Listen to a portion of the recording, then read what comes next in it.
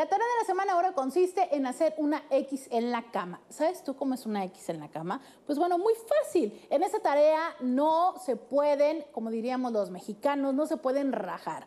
No es opcional. Si van a decidir hacer esta tarea es un día le toca a uno y un día le toca al otro. Y esto lo que vamos a hacer es amarrar a la cama, ¿no? A como puedas a la cabecera o a la piecera de manera tal en que la persona quede como una X, totalmente abierto de sus extremidades. Y bueno, para esto puedes utilizar desde la forma en la que esté hecha tu piecera y tu eh, cabecera, hasta hay unas bandas especiales que venden para ir debajo del colchón y si no, haz tus propias bandas, o sea, rompe una sábana, pásala por debajo del colchón y que sirva para amarrar, o sea, no te limites por esto, busca la forma creativa de hacerlo y obviamente una vez que tengas ahí rendido a tu víctima o, mejor dicho, a tu sumisa o a tu sumiso, buscarás la forma de darle un orgasmo. Ahí es importante la creatividad porque lo tienes totalmente a la disponibilidad. Y por supuesto, a ti que te toca estar amarrado, pues solamente te queda rendirte al placer y a la creatividad de tu pareja.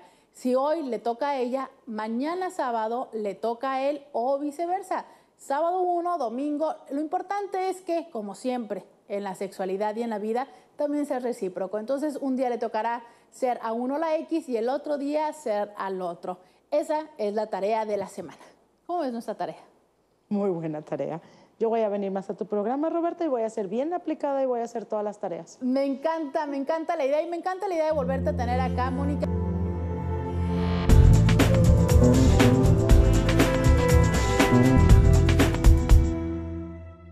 Si quieres solucionar un problema personal, algo en tu relación de pareja o solamente quieres consejería, algunas preguntas respecto a la sexualidad, por supuesto, márcanos 681-1993, el centro especializado en psicología y sexología integral, el primero en la región con más de ocho años de experiencia. Somos tu mejor opción. Roberta Medina, psicóloga, sexóloga y terapeuta sexual, 681-1993 o búscanos en Facebook como Sexo con Roberta.